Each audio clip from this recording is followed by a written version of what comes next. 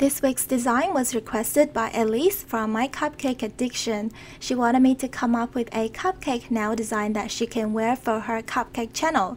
So when she came down to Melbourne, I caught up with her and did this candy colored cupcake design on her nails. And guess what she did when she went home?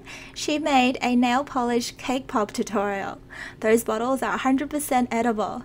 So go check out her channel and subscribe for awesome cupcake and cake pop tutorials.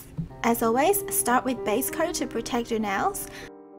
I went with this muted green polish as my base color to give it a bit of a vintage look.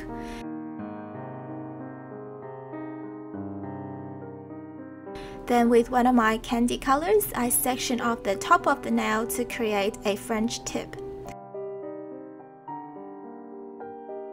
You can also use a detail brush or even a tip guide to achieve a more precise line.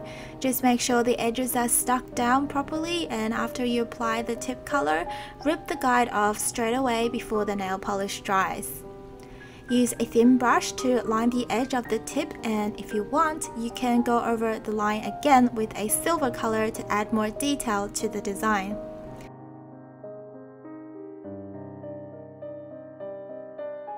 Now for the cupcake, grab your biggest dotting tool and add in 5 big dots, 2 on the top and 3 on the bottom.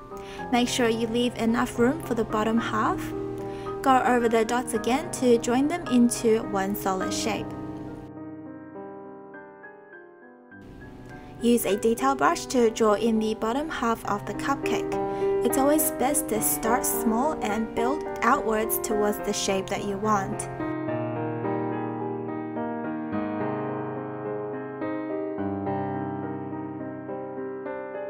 Add in three little black lines for the cupcake wrapper.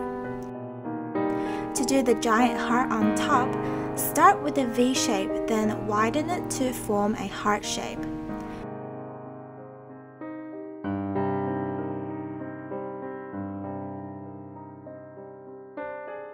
For the accent now, I added in some colorful micro beads to make them resemble sprinkles.